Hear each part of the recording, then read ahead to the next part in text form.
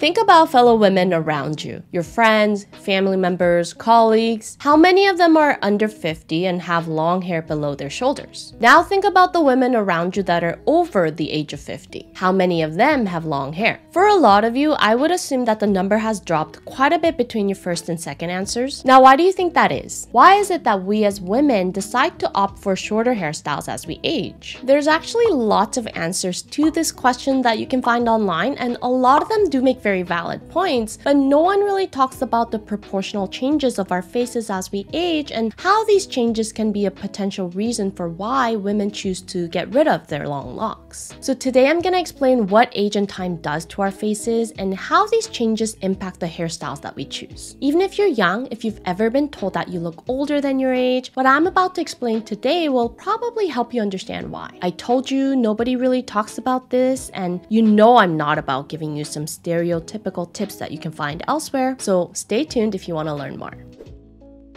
So, like I said, if you Google the question, why do older women have short hair? There's actually lots of helpful information you can find about hormonal changes that our bodies go through that also have an effect on the overall health of our hair. And while I think that being aware of these changes in our hormone levels is very crucial, it doesn't really provide a clear answer that explains the visual changes to our appearance that might make us more suitable for shorter hair as we age. And there's actually a really simple explanation for this, which is gravity. As we age, the gravity will pull the face down, and that's just inevitable. And this effect is very obvious in our skin, right? With age, our skin also loses collagen and elasticity, so the combined effects of the gravity and the lack of elasticity in our skin is what makes it sag over time. But this also happens to our facial features like the tip of your nose and the lips, and as these features are pulled down by gravity, our eyes will recognize the face as being longer. If you think about a baby's face, as a baby grows into a child and then into an adult, the face grows longer. So inherently, we recognize longer faces as being more mature, which is why people that look younger than their actual age will almost always have a face that's shorter than average. And if you've always been told that you look older than your actual age, like me, there's a good chance that the length of your face is longer than the average. But it's also not just about the actual length of your face. Our eyes visually recognize the length of the face by looking at the position of the facial features. So that's your eyebrows, eyes, nose, and mouth. And I've actually explained this concept in my tips for prominent noses video that when the middle third of your face is the longest section in your horizontal proportions, your face is going to appear longer than faces that have a long top third or a long lower third. And these three faces are a really good visualization of how, despite all these faces being of equal length, the face with the long middle third appears the longest. Like I said, our eyes recognize the length of the face by looking at where the facial features are located. So the distance between the eyebrows and the mouth is what visually dictates the length of our faces. And as the length of your middle third increases, the distance between your brows and your lips naturally increases as well, which is exactly why if you have a long top third, your face is not going to appear as long because your facial features are crammed into a smaller section within your face, and your features are not as far apart from each other as a face with a long middle third. This is why the length of your philtrum also matters. The longer your philtrum, the lower the position of your lips, and the longer the distance between the eyebrows and the lips become. So the effect of gravity is that by your features like your lips and the tip of your nose being pulled down, the more our gaze tends to be dragged downwards and the more length is added to your face visually, which adds maturity to the face. Now, long hair also has a tendency to drag our gaze downwards as well, especially if you have long straight hair, our eyes will follow the direction of the hair downwards. So if you already have elements in your face that draw the emphasis down, long hair is gonna amplify that effect even more. That's why a lot of women as we age might feel like we're better suited for shorter hair. On top of reasons like hormonal changes and hair loss, short hair creates a visual break that stops the gaze from being dragged downwards further, so the visual effect of the emphasis being dragged down and the face being lengthened more is gonna be mitigated with a shorter hairstyle. It's also why you'll see a lot of women opt for really short haircuts like a pixie cut. A pixie cut removes the hair completely from your lower facial outline, which also removes the contrast that's created between your hair and your skin. So naturally, our eyes are drawn upwards where there is still contrast between the hair and the skin. And because the contrast is removed around the lower face, features like a long nose tip or a long philtrum will naturally draw less attention. If we look at all these celebrities that look great with pixie cuts, they all have the common element of a long philtrum. Not to say that you can only look good in a pixie if you have a long philtrum, but if you think about why certain people look significantly better with a short haircut like a pixie, a very common reason is that these faces already have elements like a long philtrum that drag the emphasis downwards. And because long hair acts as another factor that drags the emphasis down even further, when that factor is eliminated by a shorter hairstyle, it gives the face a fresher look.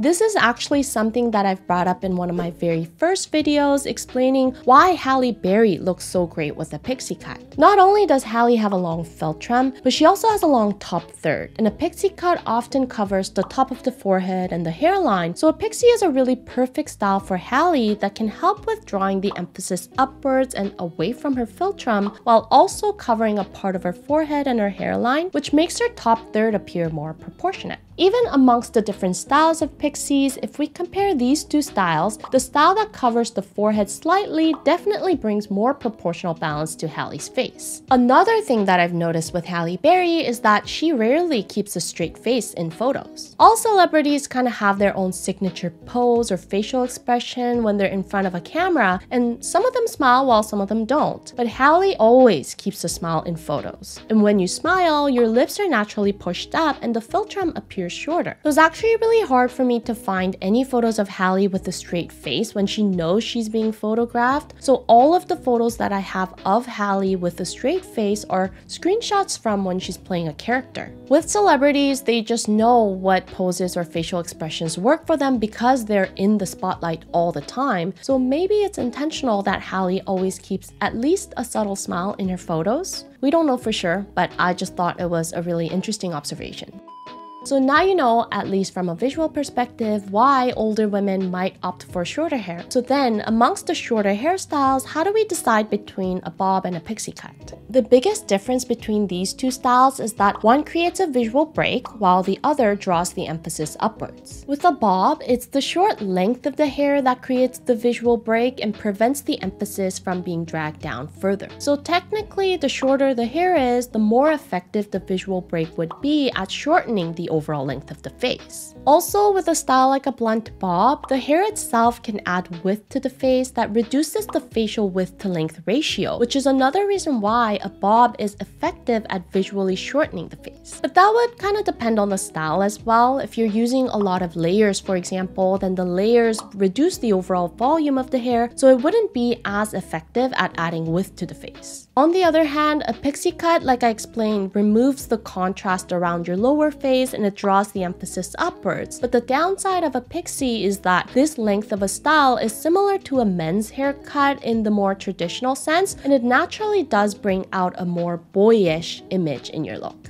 The shorter the hair is, the more our eyes will focus on the facial features themselves. In my last video about visual weight, I briefly mentioned that a shorter hairstyle is generally more suitable for faces that have higher visual weight in their features, and this is the exact reason why. There's a natural tendency for more emphasis to be placed on your facial features themselves when the hair is shorter. So if your features have high visual weight and your face is the type that's more suitable for accentuating the individual features rather than highlighting the overall harmony, then styles that bring more emphasis to your features are obviously good choices for you. If you don't know what I'm referring to as faces that need to accentuate their features versus faces that need to accentuate the harmony, I explain all about that in my visual weight video, so you should check it out next. But the reason why I said this is only a general rule of thumb is because the right length of your hair can also depend on the overall length of the face, like we talked about, or the length of your neck could also have an effect, or it could be the yin and yang balance of your face, etc. So whether a bob or a pixie cut, both styles technically bring more emphasis to your facial features, which means that if you have a lot of yin elements in your face, those elements are going to be accentuated more with a shorter hairstyle. My face is actually a really good example of that. Proportions wise, I have a slightly long face and a bob is a very suitable style for the length of my face, and I actually get lots of compliments about my hair whenever I chop it off really short. But this is how my husband described it. He says that I look more handsome when I have shorter hair. And that's because the yin elements of my face are naturally highlighted more when I have shorter hair. I think it's also why I get more compliments from other women when I have short hair versus men. Guys just like long hair in general because long hair just makes you appear more feminine. But the reason why I'm specifically saying that the pixie brings out a more boyish image in your look is because with a bob there's more styling options, especially if it's a blunt bob that's not heavily layered. Even just changing where you part is more doable with a bob than a pixie, right? So with a bob there's just more you can do with your hair, whereas with a pixie there's generally less styling options. So essentially how you should decide between a bob and a pixie is if your main goal is to just shorten the overall length of the face or shorten the middle third, then a bob is a great style for that.